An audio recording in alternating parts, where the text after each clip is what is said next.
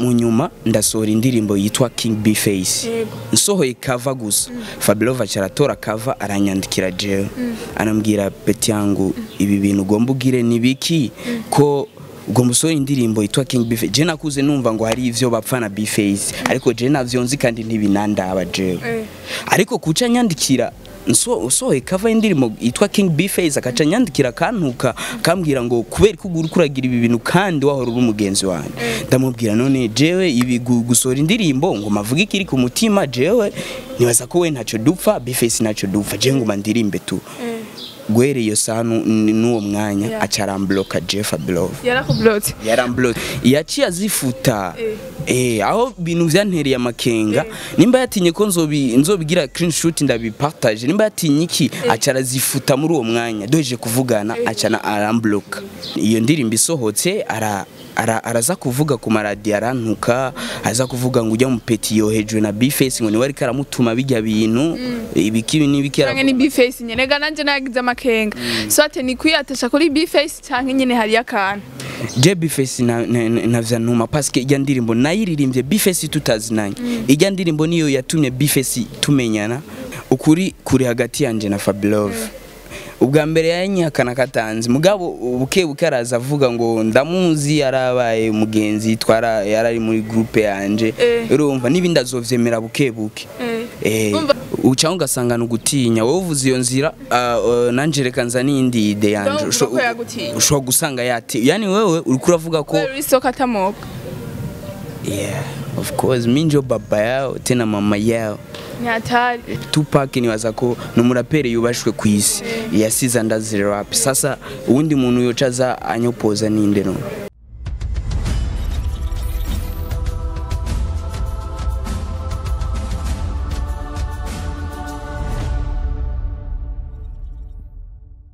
Oh, hello hello abakunzi ba TV muraho mumeze neza je ndameze neza ndashimana. Murabizi turi kumwe mba numva ndyohewe. So sikimwe ku kindi let's talk ariko uno munsi na navuga gute ndi kumwe n'umuntu amaze iminsi ariko atera akajagari reka mvuga uko. Muraza kumenya igituma ariko atera akajagari. Reka kwanza mbanze ndamuramutse sawa. Ni sawa. Meze neza? Ndashima imana nawe umeze neza. Eh, nanje ndashima ramutse abakunzi ba Isaac ya abakunzi ba Isaac TV murameze fresh je ndameze neza. So ni M9 Jimbo fro- from Rap Business na Depress kama kawaida. Uh, ikibazo ca mbere ndagufitiye kubera iki guhayagiza bface mu ndirimbo yawe watanguye kubera ndamukunda kubera nkunda akazi kiwe. Ego. Jewe uko ndabifata sinzi abandi uko ndabifata mbona umenga ni ni kwiyatasha ku muntu. Benshi niko babivuze ariko nibaza ko je ni ibintu nakuye ku mutima. Si ibintu nagize kubera nyene ngo mboneke canke irene ibintu vyavuye ku mutima wanje. Yeah. Mhm, uri kuvuga uko naho? Ego umuntu arashobora ku- kuba umukunda. Ariko turavye naho indirimbo uheruka gusohora ni indirimbo utuka novuga presque abandi ba rapper bose sauf bface aha ni kubera iki? Wewe nta n'akadefo apa kumwemera nta n'akadefo afise bo je akadefona ko ndabona kandi eh, nibaza ko mu vyo navuze muri ntimwibona ubwana. Navuze ibintu vyabaye nta kintu nifoneye gihari hari Aya, reka tuvugisha ukuri rero. Eh, tutaraja ibya Fabulove byo urumva birarengeye ni nkawe waririmbye gusa. Ngo kiri ku ngo yaguhaye 5000 hama ngo acabona ngo umenga ngo aragu washitse kuvuga iki muri sa ye akili mukurapazwira nk'iyiri mu cari naho yanshoreye poro nyuma kaanza migara ridanganywa na mahoro mwana muto ngusaba ugende buhoro jende soka tamoga agahanga kimbwa jigwe ndavuna si hamwe kimbwa.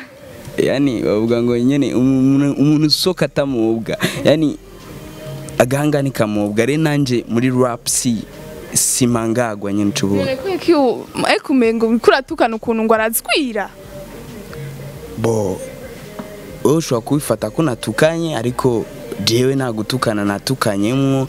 Yani ni, ni, ni, ni, ni commentaire ku kintu kandi James uburenganzira bwo gukomanta ku kintu.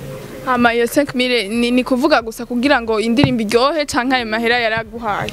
Ya yarayanshoreye kiri kuvurema kubera urumva wari wamutoresheje oya sinamucoresheje Eh. oya tu n'umugenzi tuba turi kumwe sometime. Rero yara- yara- vyarashitse arayancorera none yagucoreye nkuko nanje nshobora kuyagucorera wewe yame none eh?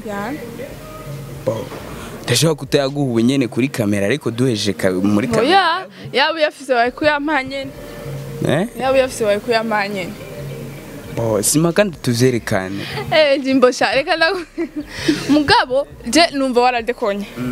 Nta kuntu umugenzi wawe umva bishika akanagucorera woca ufata u- uka- ukaja kumudisinga mu ndirimbo. Iyo mwicarana ukabimubwira naho ntivyari kugenda neza ati je nyimba warancoreye ntigisigura kucungara ko pena kubijana mu ndirimbo directement bo je nibaza ko uh, kiriku nta komantere yiwe eh, imbwira yuko abitamuryoheye canke vyamuryoheye ndaronka. Sivyo were ntibice bikubabaza kurusha uwo navuze. Sinzi gukora nahura. Kiriku n'umugenzi oya arashobora kuvuga ati rega hari umugani bavuga ngo mugasi gutukana mu gifaransa. Ngo eh, on répond les imbéciles par silence.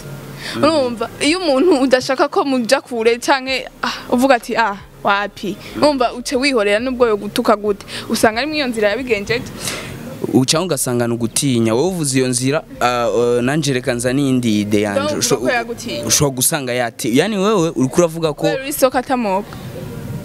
Yeah of course. Mi njo baba yao tena mama yao. Nyatari hari iyindi terme ntatahuye ngo? Urumva mu bisanzwe umenga wavugiye bose hamwe. Ngo murindiriye ngo babapfunga indege. Navuze ntimuraboha uw'indege murabaze orege canke randri korega bacire ku mayange kandi ubwire sumifu. Kurakunda amabifu ajya y'uburofa nkunda yinjiza ubufu mini. Umuragwa wa tupake je tupake ndazi rap. Tupake nibaza ko ni umuraperi yubashwe ku isi. Yasize ndazi rap. Sasa uwundi muntu yoca aza anyopoza ninde none umuntu yakopoza yakuraze rap mu- muhuriye. Eh? muhuriye bo je nibaza ko ko baraga dimwe baraga umu- umwana wawe canke umu- umu umu héritier umuntu ashobora kuba atari umwana wawe ariko kubera ko yagukoreye iminsi myinshi canke wabaye ukavuga ati ubu rero uri mu muryango wanje. We yokuraga Tupac muhuriye he? Bo mu musanzwe je eh, nari mfise sokuru wanje eh, yaba yaba muri amerika. Eh, nibaza ko vyavuye hariya. Vyavuye hariya aravuga ati hari umwana wawe uzovyara. Bamwe ngo ni batoyi ba 50 cent. Mm, urumva. Hari umwana wawe uzovyara azoba afise impano yo kurapa. Eh. urya je ni we nsigiye intebe y'ubwami. Eh.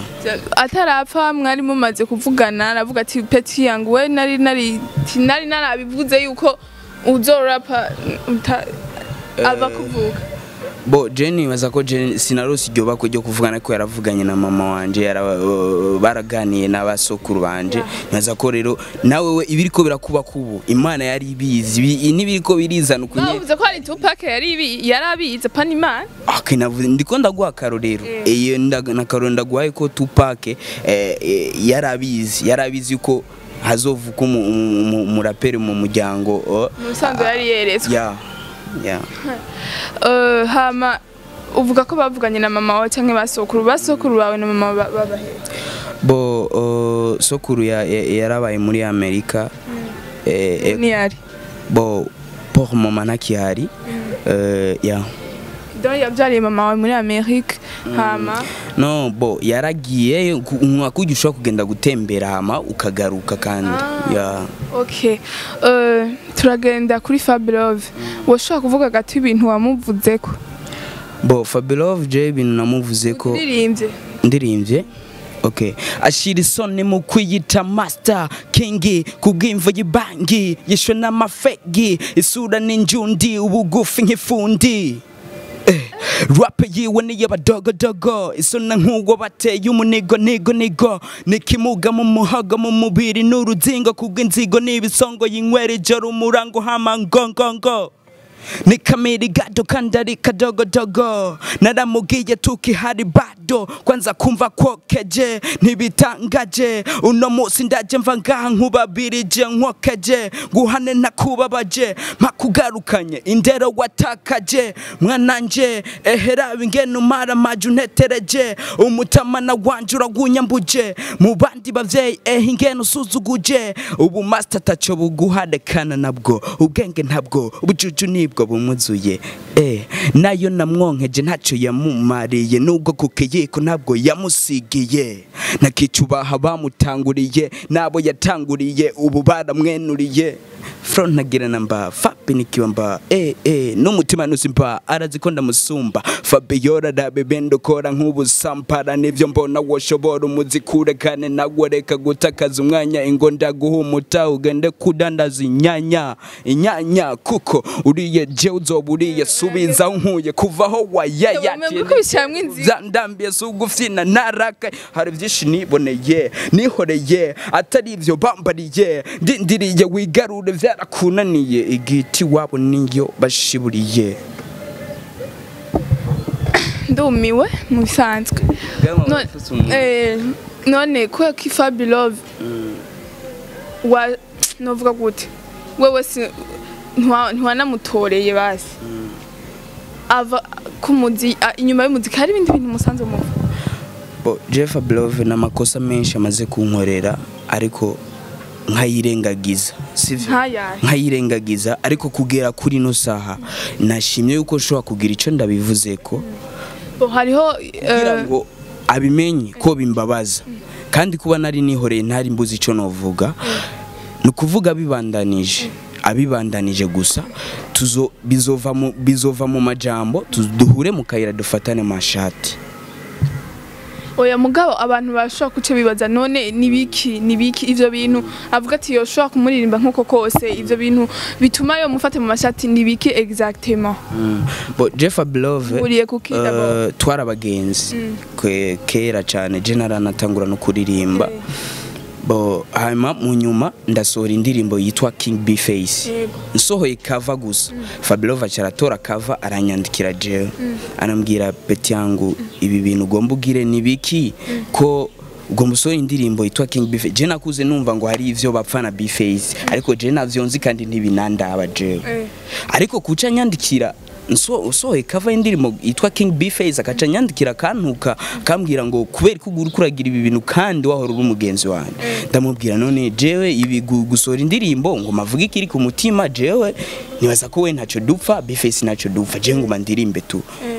Guhera iyo saha n'uwo mwanya Yeah. aca arambloka Jeff Blove yarakublotse. Yaramblotse ntitwasuye Umviriza, ku- ku- kuri iyo misiyo mwakoze ku kindi kinyamakuru.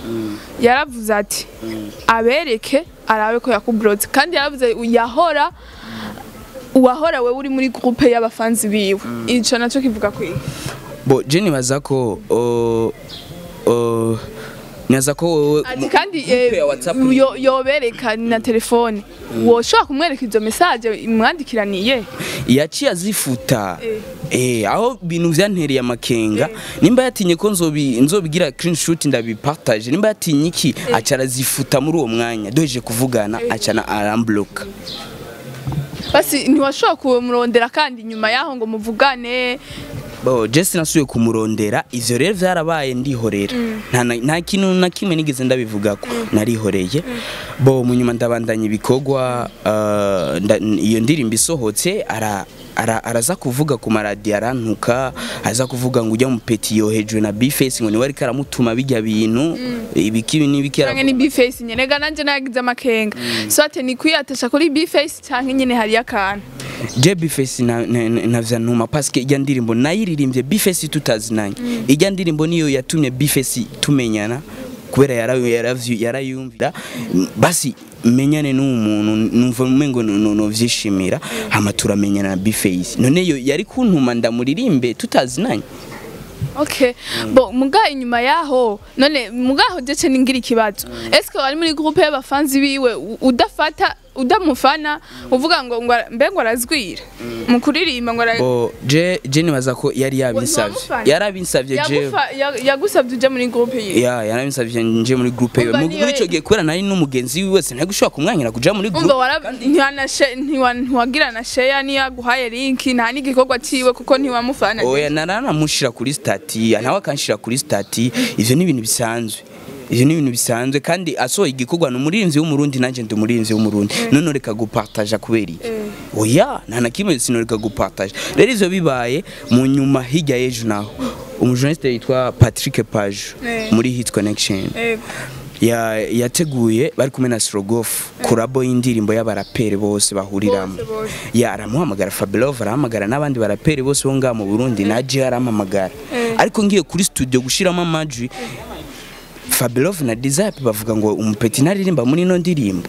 Kandi indirimbo atari iwawe ari iwabo ndavuga none je birambabaza aba, aba hariho aba overdue ba pauzone buramatari aba raperi benshi. Baravuga none gute mwanyiri uno mupeti karirimba mu ndirimbo mwe mutateguye. Ivyo mupfa mu bife hariya mpana kubizana mu ndirimbo mutateguye. Mugabo, oh, je naciye norosha ingorane mu bisanzwe. Je sinkunda kuvuga menshi naciye ntaha nshitse muhira ndamutelefona page ndamubwira. Page je Fabelov na Dizap banyankiye ko shiramo amajwi? None dizapi nawe mufike. Eh? Uwo mu dizapi nawe mufike. Dizap Eh. ngira ngira ni inshoreke yiwe ngira barafata barafatanije jo jo pense Eh. je nanje ntaco nzi dupfa ahubwo shaka bavuga ico kintu dupfa cyo tuma banyankiririza hama nimba ari kosa ryahabaye umuntu asabe pardon pana ko buca baguma ba bankurikirana banyankiririza nerefonye pajo rero uh, pajo namubwira je Fabelov na Dizap banyankiye ko ndirimba. Kubera ko utaciye unterefona hajya nyene ncenza kuri studio hamace nda mvuga u- u- ucu ucu recording. Je naciye norosha ingorane naciye ntaha mugabo mvuze ati ko shitse muhira reka ndabikubwire. Ngo ntacyo ngo mugango wa dekonye yicu mpamagara mu rya mwanya ngo vyaca bihera. Ya rero ivyo bintu vyarambabaje nk'abakuru banje. Eh. bakankorera ikibi nk'icyo ni cyo gituma naciye numva ko nutanga ubu butumwa. Ntimwibone ubwano. Mm. mumbone ndakana Mm. muce munyurirako kandi mbarusha gucana. Urabona? Rero iyo ndirimbo nibaza ko yo- yobabera inyigisho. Ndetse apana nabo bonyene. N'abandi bantu muri societe ni indirimbo ikenewe si vyiza ko wibona ubwanwa ugafata nabi mutoyi wawe adafise ubwanwa canke eh, witwaje ikindi kintu witwaje ubwanwa n'ibindi. Ndakeneye kumenya ko inyuma inyuma y'iyo ndirimbo rero umuvugamwo nyene serieusement apa y'ivyo vya Bface naho nta kindi kintu yigeze kukubwira canke ikindi kintu casubiye kuhaba inyuma. Mm. bo je nibaza ko wavuze ko yakubura Mm, hariho abagenzi bagendana nawe Eh. ahantu akunda guteramira. Nabo n'abagenzi banje. Ateramira he? Ya- eh? ateramira he? Oya simpaka tuhavuga aho hantu hatu- ashobora guteramira bashobora guhurira muhira iwabo canke bagahurira ahandi hantu. Uh, rero numva yidoga aba- aba- ababwira ko ababwira ko ujya mupeti ngo ariko eh, bijya ariko araririmba hajya ngo birambabaza kubona ngo abitumwa na Bface. Icya mbere nagire stop ngaho. Je Bface nta kintu na kimwe. Nindi nta musanya ndikira indirimbo je? Eh. n'indirimbo yanje igiye gusohoka igomba gusohoka ni- sinigera ni gake ndayimwumvisha we aza kuyumva nko kujya abandi bantu baza kuyumva yashitse kuri YouTube. Mugabo aguma avuga umunwa ngo ngo ni Bface ariko arantuma. Ivyo bintu yahagarika areke kumucafuza kwanza icambere. Eh parce que ngaho ariko aramucafuza. Kuko jewe nibaza ko ni eh, sindi umwana muto Bface yohenda ngo genda wica umuntu nkaca ngenda kumwica. Oya! Nivyo nyene we nyene ni we uvyiyandikira. Ya ni je ndavyandikira kuko birafise ico bivako. Urumva ko hari amakosa menshi amaze kunkorera kandi ndamubwira yahagarike. Kuko none mu gihe naho yobandanya bugiri yobandanya. Je nzozinduka kumwitwarira. Zija kumwitwarira kuko sishaka ko biguma mu majambo urusaku urusaku iki n'iki n'iki jewe nibaza ko namwisavye ambabarire. Ndamubaha ni mukuru hama wa nawe agutanze kukwitwarira? Nzokwitaba nuko ataco niyagiriza jewe sawa. Ah, hagati aho rero wavuze ngo Alf, ngo Alvin ngo Smith ngo n'amabifu ngo akunda ngo amabifu y'uburofa. Alvin Smith agira iki nawe? Je musanzwe eh, mpora ndaba eh, ibiganiro bakora vy'umuziki eh, nkabona ama interview yiwe canke nkabona ama commentaire y'abafana. Nkunda gutwenga gusa cyangwa avuga nyine ibintu bitwenze ariko nta nta bifu ndabona n'utundi tuntu we nuko utaratubona we bado tuzotubona nyene tumeze ukuntu nyene. Jere turanjena sana turanjena rero sometimes ndio maana navuze ati None nk'uduki- "Kabisa utwo umifu, tuku- tukujena." ko nakunda amabifu ajya y'uburofa nkunda yinjiza ubufu yani hariho bifu zinjiza ubufu n'izindi bifu nyine usanga ari izo nyine uburofa zo gukina zaba none utwagira tw'abana ni- dushaka reka tumenye ni cyo gituma kugira uduhe umuco. Hariho abavuga ati me agira ibintu nyene bitwenza gusa ivyo bintu vy'amabifu navyo tubona. Sinzi ko woduha umuco gato. Bo u- uzo uzorukurikirana cyane ama interview yiwe agira ariho nk'ivyo mpora numva nyene. Je numva umengo sinobisubiramo gusa birahari tu? Eh birahari. Sinumva umengo sinobirandiramo cyane kubera eh, ibintu je usanga nyene bimbabaza sinkunda kubigumiza mu mutwe. Ya biraba tu mugabo mundi mwanya ya ya nki Yeah. Bon, je numva en tout cas message yashitse. Message yashitse ariko kandi nawe yaravuze ati iyo ndirimbo. Ntabyerekana ivyo bintu hama jewe ivyo ntavyo navuze. None u- ucu nububeji cyane. Ukuri kuri hagati yanje na Fabilove ubwa mbere yanyihakana katanzi mugabo buke buke araza avuga ngo ndamuzi yarabaye umugenzi twara yarari muri groupe yanje. Eh. urumva n'ibindi azovyemera buke buke. Eh. umva wowe uriko uramuzana uriko uramuzana Ah, abo sindi ko ndamuzana. Gusa nyene umva yatanguye avyihakana. Mugabo mu nyuma ariko aremera bimwe bimwe kandi eh, N'ibindi azovyemera. yeah, n'ibindi azovyemera. Hama bandanije umutaburitse abandanije muza nzomanza basi jewe. Abandanije nzomanza none ndamu basi kubera utafata umurondere wewe mwicarane Mm. muganire. Je nibaza ko yaramblotse ndamurondereye uce ku wavuze ko abagenzi biwawe canke abiwe muhora muvugana ukababaza. Bo je nibaza ko wenyene yararinzanye blokera nta mpamvu yo guca ku ruhande. Azomblokore hama tu tu tu tu ya chatting tu- tubiganireko mu mu gihe azobandanya nzomwitwarira jewe kubera je sinkunda ibintu ibintu uh, vy'akazirikira ukuntu iki niki niki two turakora umuziki ni mwene wacu ni umuraperi nkaba umuraperi nta mpamvu ko biguma muri ye ye ye ye mu kurangiza kino kiganiro cacu usezera abakunzi ba Isaac TV niki wavuga? Mm. bo je nibaza ko abakunzi ba Isaac TV icya mbere no kubashimira ukuntu ba- bashigikira umu- umuziki ndundi. Eh, ndabashimira namwe bwe mwampaye kano kanya eh, no kwita inzahabu si bose bakaronka ariko je mwakamaye. Yeah. Mwakoze cyane. Nsaba abakunzi ba Isaac TV nabo bamfata ukuboko. Eh. barafise ahantu kure bonshikana. Bamfata ukuboko vraiment please nabaomba nabaomba mwese uko muraraba ikiganiro nga mu- mu- mu- mugire murondere channel yanje ya YouTube nitwa M9 Jimbo. Mugire hajya muzane eh, commentaire zanyu mumvirize ibikorwa vyanje. Nibaza ko commentaire uko iri kose je izomfasha gushikaho nipfuza. Ariko ah, ivyo amabifu gusa wumva bakomantike ivyo batazi Mm. oya barumviriza hama ba- ba- ba- batange commentaire nibisanzwe. Hariko n'izindi ndirimbo hariko indirimbo yitwa nanje nzoronka hari indirimbo yitwa King B Face hari indirimbo yitwa nkiri ruguru. Baraza kumviriza baraduha uh, commentaire uko iri kose turayakira. Nawambia ni hatari ndasi ni hatari. So reka nanje ndagushimire. Ndibaza abakunzi ba TV barabanguka cyane turabakunda cyane Um, n'abantu novuga gute? Murabizi ko badahari tudashobora kubandanya. Kuri mikoro ni muco centre tarita behind camera Juma Jux hama mugende mugire subscribe. Nangaho utaragira subscribe wirukange kugira bandanye umenya bishasha. Ya. So ciao ciao.